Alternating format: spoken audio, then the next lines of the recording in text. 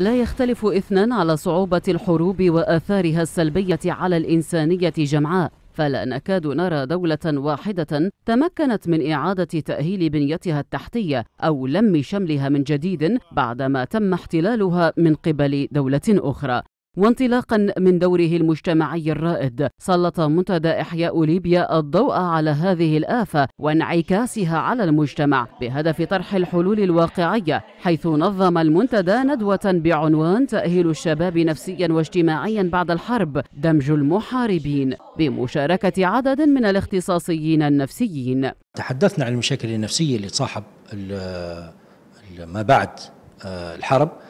طرقنا لهم بصفة وبصورة مختصرة وضحنا لهم شنو الأسباب اللي ما بعد الحرب والاضطرابات اللي تصير ما بعد الحرب وكيف يحتوي المجتمع والأسرة مثل هؤلاء الشباب اللي نحن في حاجة لهم وفي وفي خدماتهم. نقدروا نعولوا عليهم في برامج مستقبلية إن شاء الله حتى ما بعد إن شاء الله الانتخابات القادمة والاستحقاقات القادمة.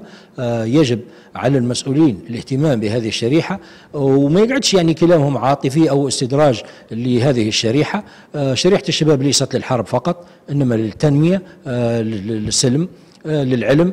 آه هذم هم عماد المستقبل يعني لو نبوا نبنوا دولة آه مستحيل تبنى بدون آه بدون شباب. من جانبها أوضحت دبوب أن التأهيل النفسي والاجتماعي يجب أن يقدم بشكل موازن مع الجوانب الأخرى لما له من أثر إيجابي في خلق شخصيات ذات سلوك مقبول. التأهيل النفسي والاجتماعي للمحاربين أو المقاتلين وكيف يقع عليهم أو كيف أهمية هذه الخدمة؟ لأن دائما نرى أن تقدم الخدمة من الجانب المادي الأكل والمشرب والملبس والمسكن ولكن يتم نسيان تماما الخدمة في وجهة نظري أنا الخاصة الأهم اللي هي التأهيل النفسي والاجتماعي لهذه الشريحة.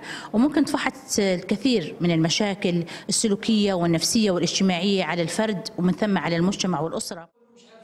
الندوة في مجملها أكدت ضرورة الاستمرار في التوعية والتنمية النفسية ودمج الشباب المحاربين بشكل صحيح في مختلف الجوانب من خلال احتوائهم في ورش العمل والندوات واتخاذ خطوات ملموسة كإنشاء مراكز مخصصة لهم بالتعاون مع مؤسسات الدولة والمجتمع المدني.